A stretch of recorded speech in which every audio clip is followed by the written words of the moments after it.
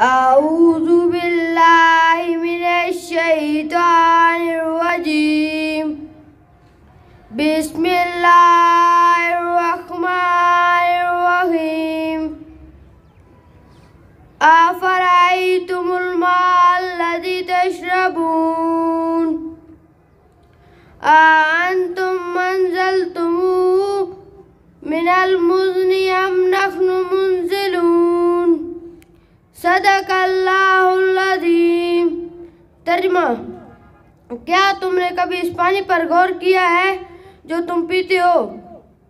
क्या ऐसे बादलों से तुमने बरसाया या इसके बरसाने वाले हम हैं?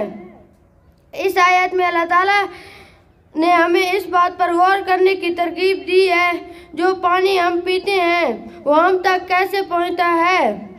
और इसे पैदा करने वाला कौन है? इसे हम कहाँ कहाँ इस्तेमाल करते हैं? और ये किस तरह हमारी ज़िंदगी में सहूलत पैदा करता है? पानी अल्लाह ताला की अजीम नेमत है।